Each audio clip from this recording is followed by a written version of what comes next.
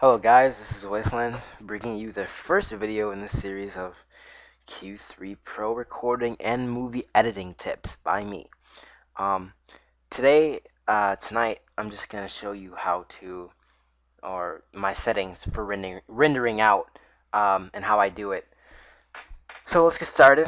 Uh, I use Vegas, I have Vegas open here, and um, as you can see, I've already edited and I've done extensive editing, but I've already edited and picked the song and stuff. Now, how do I render it out?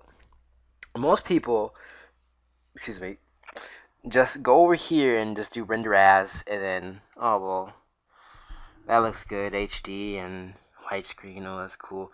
Well, mm, sorry, buddy, it doesn't work like that. Um, if you did that, sure, you'd have a decently quality, decent quality uh, video but for this purpose, um, I'm going to show you how it really should be done. Now, what you're going to want to do is you're going to want to go to File, Properties, and I already have mine saved, my settings saved, but you're going to want to use a width of 1280 and a height of 720, a field order of none, or progressive scan, a frame rate of 30, not the default, um, what is it, 29.97, uh, whatever that is. No, just use 30. Um, full res resolution, rendering quality, best.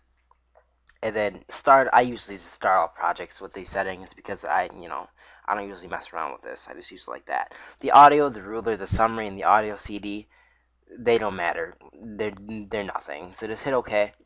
And boom, it resizes for you, as you can see.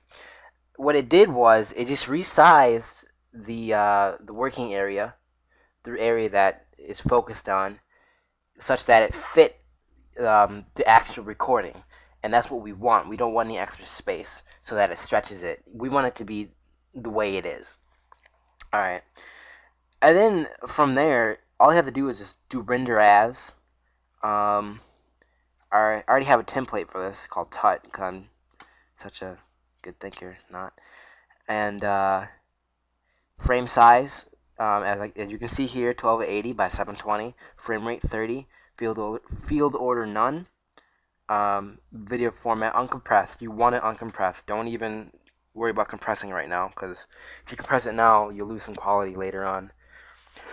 Excuse me. So uncompressed. Um, you can leave the interleave. I don't worry about that. Everything else is fine. You want to go to project and use project settings. Okay use project settings. That's the most important part. I mean, you can put it to best if you want, but if you change anything in the project settings, then it'll mess up everything else. So just use project settings, alright? Okay, go ahead and render it out. I already have it saved, but you can go ahead and render. I'll render too.